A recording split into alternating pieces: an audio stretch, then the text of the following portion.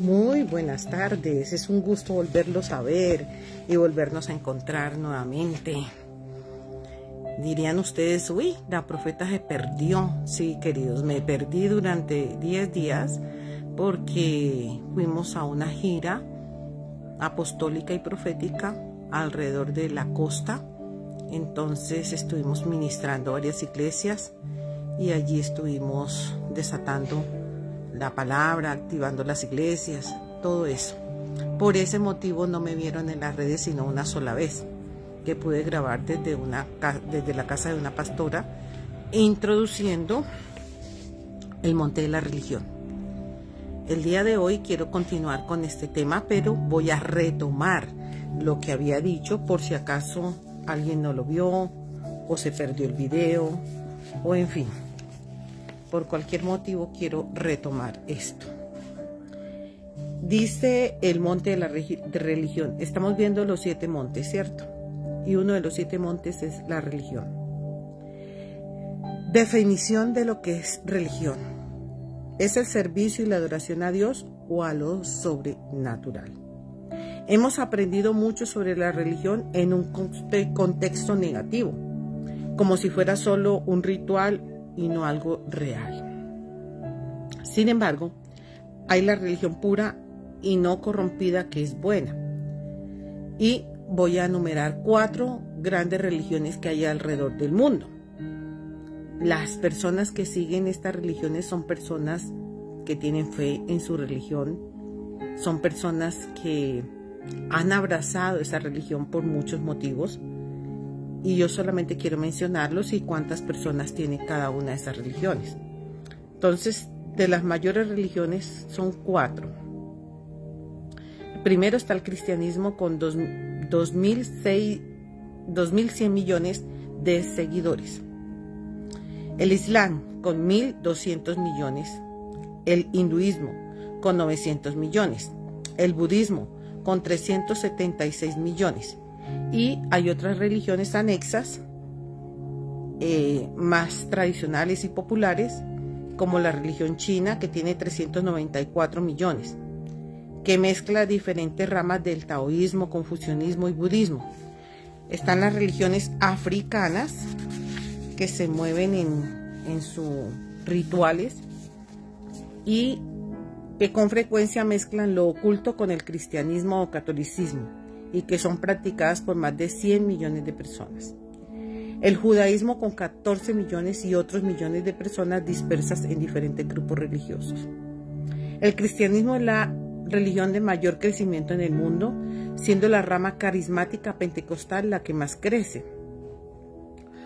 Hay más de 700 millones de cristianos llenos del Espíritu Santo en el mundo y su número e influencia crecen exponencialmente principalmente en Sudáfrica, en Sudamérica también. Ahora vamos a mirar quién gobierna ese monte de la religión. Deuteronomio 7, donde estamos mirando los eh, que venían contra el pueblo de Israel. Allí habían unos personajes. Perdón un momento. Estoy entrando a tierra fría, entonces siempre ha sido un impacto. El siguiente pueblo en la lista de Deuteronomio 7 deberá ser desplazado por los fereceos cuyo nombre significa habitantes rústicos sin muralla. Viven en las colinas cerca de las tribus de, de Judá y de José.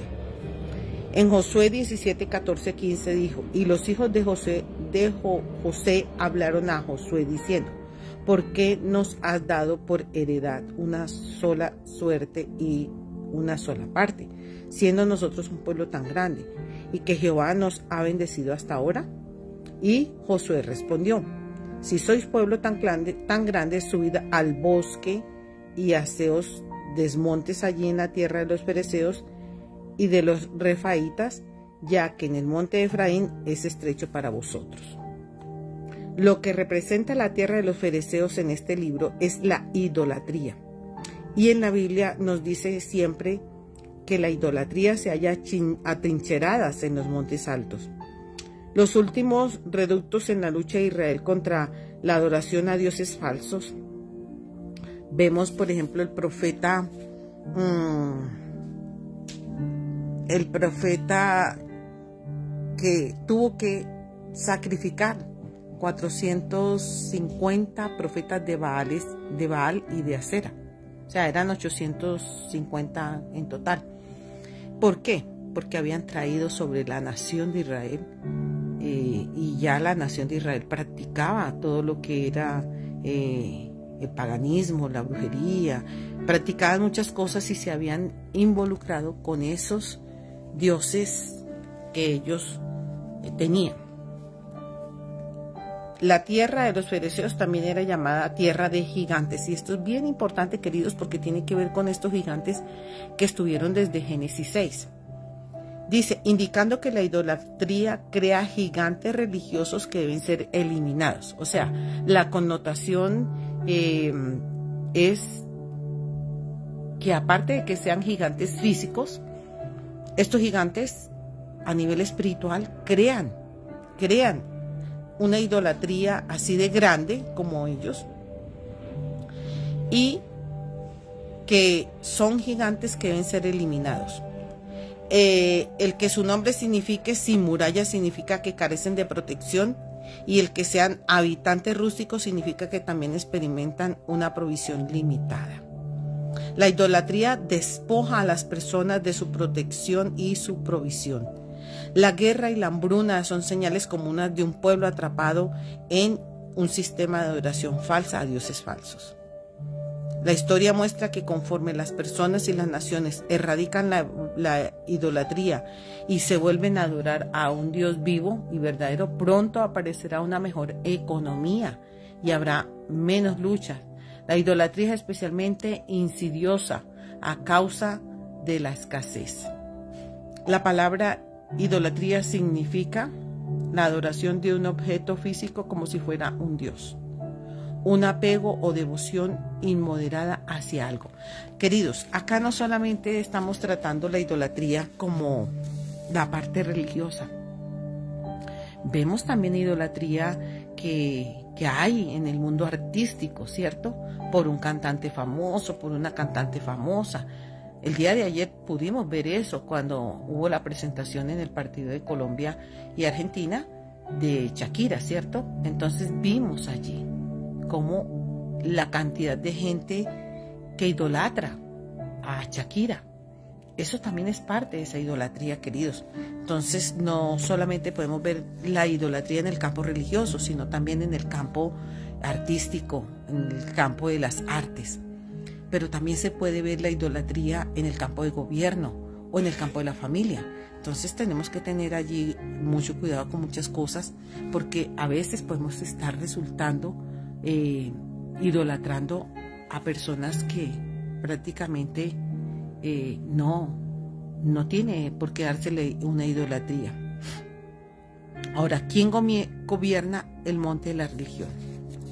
Queridos, el monte de la religión eh, lo gobiernan este pueblo de los fereceos, que significa rústico y sin muralla, y en Josué vuelvo a leer, los hijos de José hablaron, de José hablaron diciendo, bueno, ya habíamos leído esa escritura.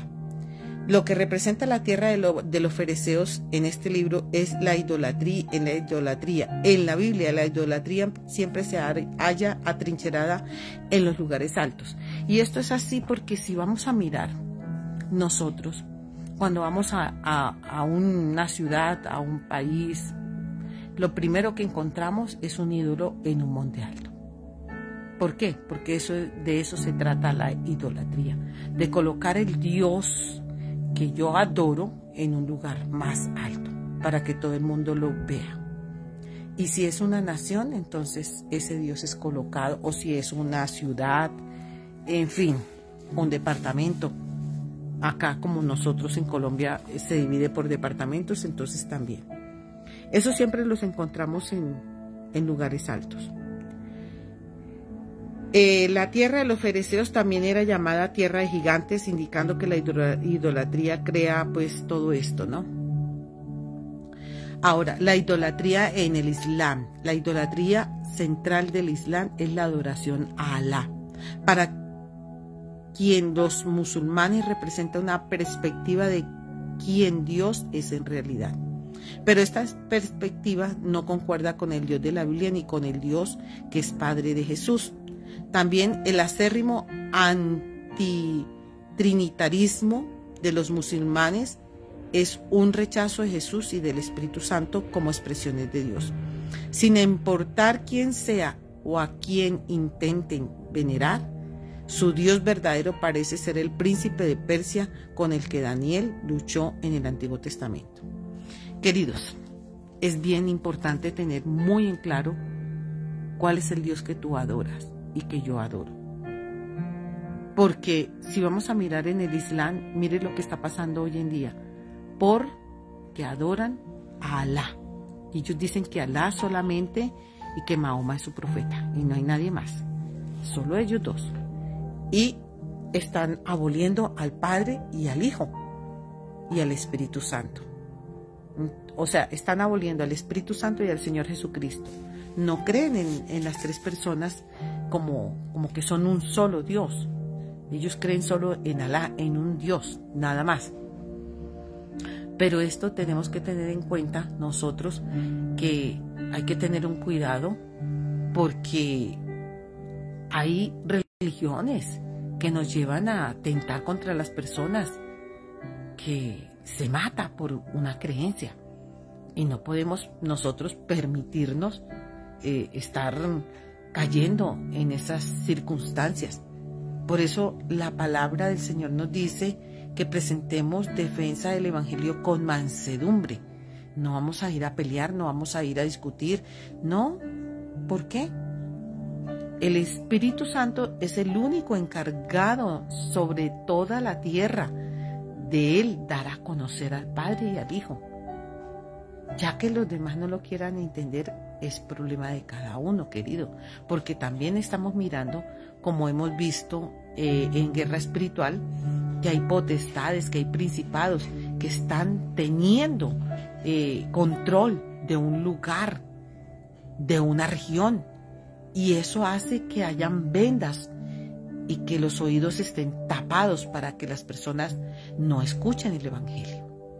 Nos pasó algo muy hermoso en, en una población, en Malambo más especialmente, o específicamente, donde mm, después de que ya habíamos acabado la reunión, nos habíamos retirado a nuestro descanso, pero habían quedado los pastores principales de la iglesia cerrando la iglesia y todo esto, bueno, recogiendo cosas, que es lo que sucede, suele suceder después de un evento.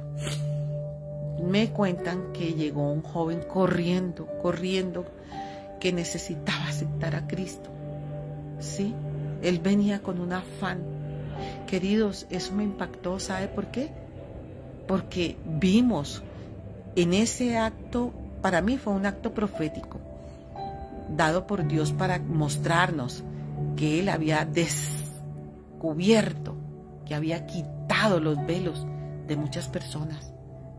Y muchas personas van a llegar a ese lugar. Entonces, queridos, eh, yo vi cómo en ese lugar se, se derramaba una unción tremenda y el acto que pasó con ese muchacho es que él vino corriendo a recibir al Señor en un afán y en un lloro y en un quebranto y fue recibido pues en, la iglesia. Pero venía corriendo y eso nos habla a nosotros que lo que estaba operando en ese lugar, lo que estaba invadiendo y no dejando que las almas lleguen al Señor, era un principado un gobernador que estaba ejerciendo poder para tener velos a las, en las personas. Y esto hizo que cuando viéramos, vimos o, escuchamos este testimonio de este joven que nos contaron al día siguiente, eh, fue como la muestra del Señor para mostrarnos que Él ya había quitado eso que obstaculizaba que las personas escuchasen la palabra del Señor, escuchasen y vieran la, la provisión y vieran todo lo que el Señor comenzó a hacer en ese lugar. Entonces, Miren la importancia de nosotros ir y, empoderar una iglesia eh, pequeña o grande como sea, pero ir a compartir con los hermanos, ir a ayudarle a los pastores, porque nosotros estamos para eso, para ayudar, pero para quitar todo lo que el enemigo ha traído en idolatría, en adoración a, cultos satánicos, a cultos de diferentes clases que se mueven en todas partes, queridos. Dice, el profeta Mahoma también es idolatrado.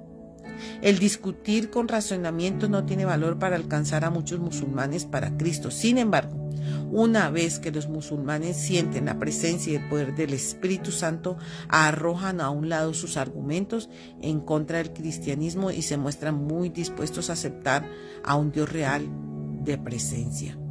Hay multitudes, queridos, en el Medio Oriente que están llegando al Señor conforme Él se revela a ellos en sueños o en forma personal.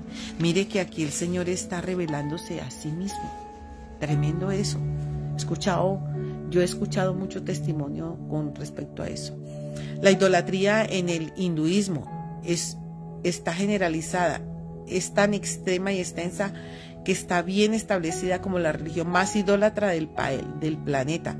Se calcula que tiene 330, 330 millones de dioses.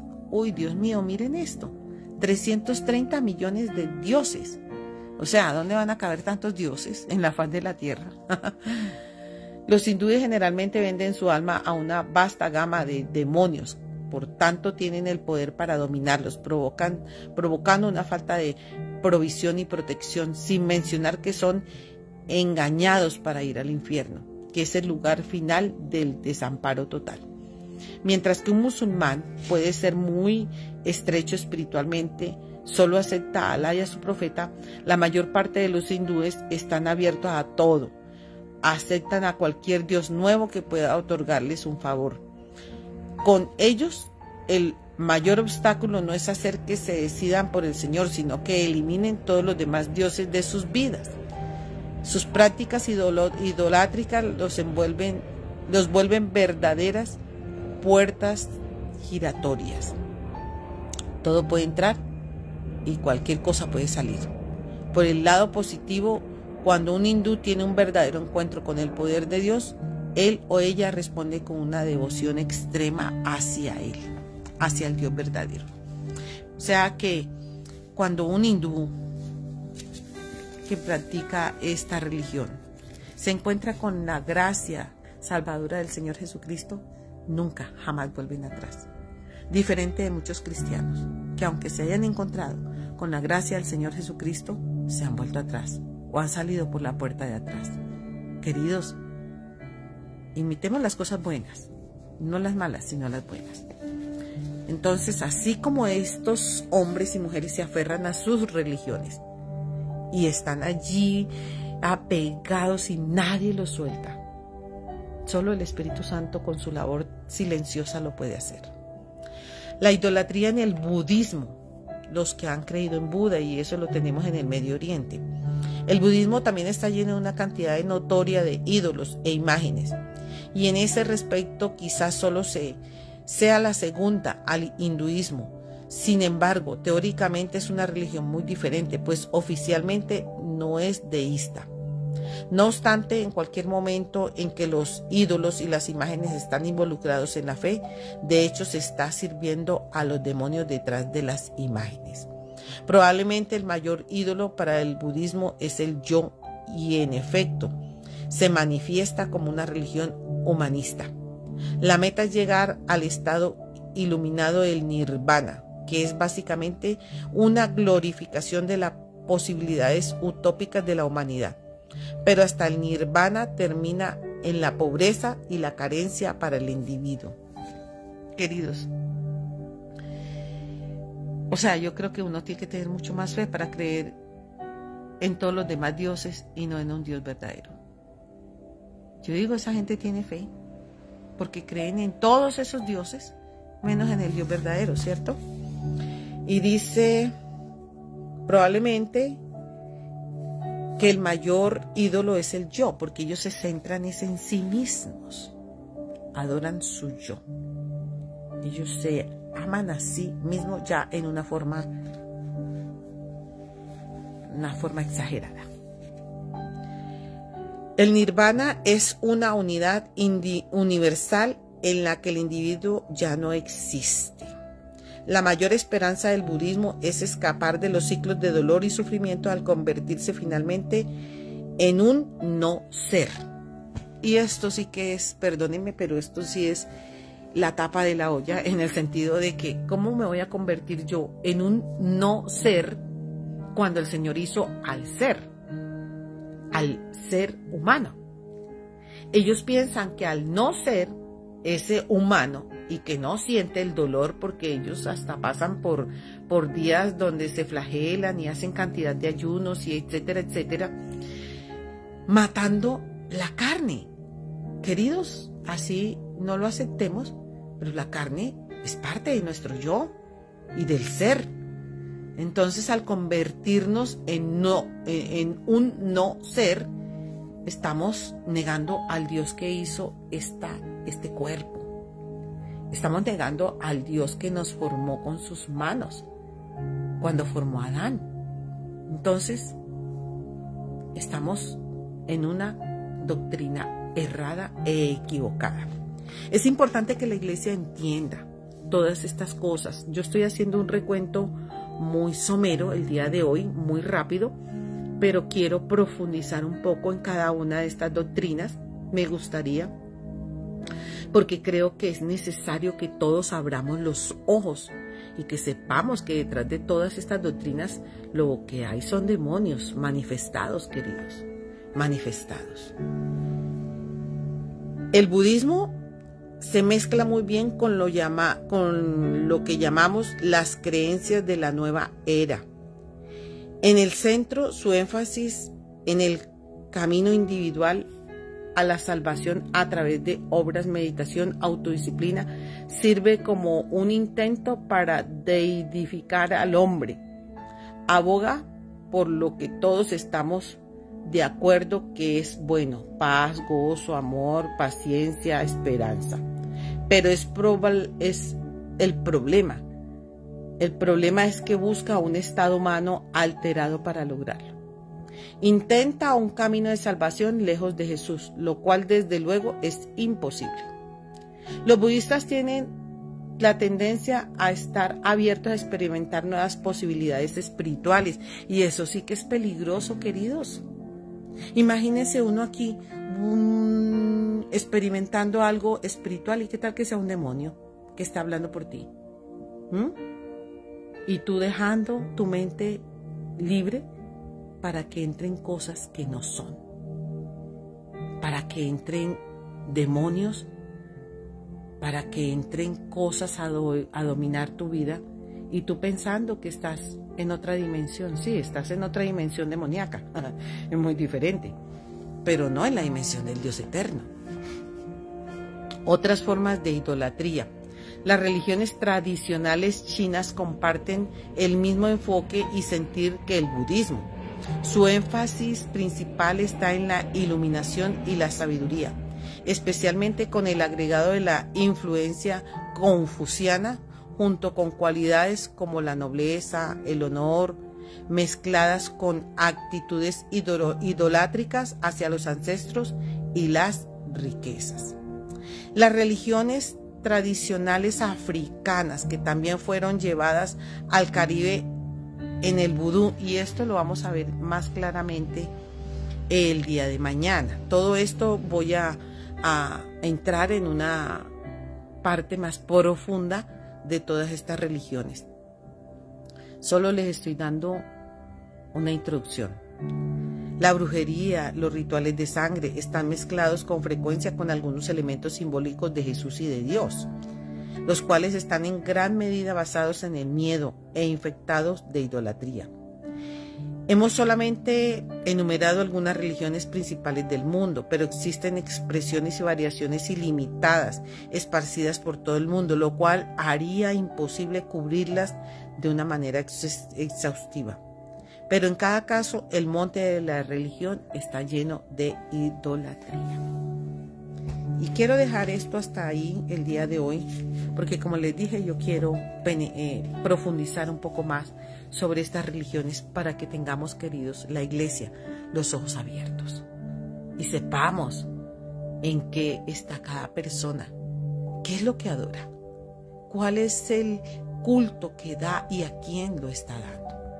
Porque de acuerdo a eso, aún dentro de la misma iglesia cristiana, tenemos que definir, queridos, que las cosas, que solo hay un Dios y que no hay otro Dios para adorar, que tenemos que ser claros en eso. No hay sombra de variación. Entonces tenemos que tener cuidado, porque el enemigo es muy sutil y se mete de cualquier forma para que lo adoremos a Él en diferentes maneras, en diferentes cultos, en diferentes religiones. ¿Qué fue lo que pidió antes de descender aquí a la tierra? ¿No fue eso que se le diera adoración y un lugar especial? A yo seré como el Altísimo, me haré como el Altísimo. ¿No fue eso lo que pidió? Y cuando nosotros adoramos diferentes religiones, diferentes, eh, en diferentes culturas, en diferentes cultos a dioses paganos, estamos dejando de lado el verdadero, la verdadera adoración a un Dios verdadero, al que nos creó, al que nos hizo, al que nos formó en el vientre de nuestra madre, al que nos dijo, mío eres tú, yo te he engendrado hoy. ¿Mm? Entonces tenemos que tener claros, claro qué es lo que adoramos. Aún en la parte de las, eh, de las, mm, en el monte de las comunicaciones, que allí también hay ídolos de barro, queridos. Cuando hacemos de un cantante un ídolo, cuando hacemos de una cantante un ídolo, cuando hacemos de un esposo un ídolo, cuando hacemos de un hijo un ídolo. No, eso se tiene que quebrar, queridos. No podemos adorar ni aún a alguien que tenemos tan cerca, ni a nuestro esposo o esposa, ni a nuestros hijos, porque todos ellos son simples mortales. Mahoma fue un simple mortal y murió, y allá está su tumba. Y así sucesivamente todos los que en las diferentes religiones se levantaron para crear algo nuevo, ellos han muerto. El único que resucitó, el Señor Jesucristo. Padre, te doy gracias por tu amor, por tu gloria, por tu majestad, porque en esta gira que hicimos alrededor de la costa pudimos ver gente con tanta sed de tu presencia y con deseos de penetrar a las profundidades para poder aprender más de ti, Señor. Yo te pido que en este tiempo tomes a cada una de esas poblaciones donde fuimos, a cada una de esas iglesias donde nos enviaste, para que tú, Señor, obres en cada corazón y que cada iglesia sea distinta sea diferente, que a partir de este tiempo que tuvimos allí, sus espíritus estén despiertos de día y de noche, buscándote, adorándote y buscándote de, verdad, Señor, de corazón. Gracias, Señor, por cada pastor, cada pastora que nos dio la bienvenida, por cada persona que se quitó algo para entregarlo a nosotros, Señor. Muchas gracias. Te damos esta tarde toda la gloria a ti y yo te doy aún más la gloria porque nos estás enseñando y metiéndonos al río de tu espíritu, la profundidad de tu palabra, para que podamos aprender cuál es la buena voluntad tuya, agradable y perfecta. Muchas gracias Señor. El Señor te bendiga y te guarde, el Señor haga resplandecer su rostro sobre ti tenga de ti misericordia, el Señor ponga en tu casa y en tu vida paz. El Señor traiga una bendición apretada, remecida y rebosante sobre las alacenas de tu casa. El Señor guarde tu entrada y tu salida desde ahora y para siempre. Queridos, les habló la profeta Luz Estelayazo de Iglesias y Ministerios Vica, Visión Internacional Cosecha de Avivamiento. Y estaremos con ustedes el día de mañana con otro en vivo. Por lo tanto, si no alcanzaste a escuchar este ahora, en estas horas que siguen vas a poder hacerlo. Muchas bendiciones, queridos. El Señor les bendiga. Nos veremos mañana.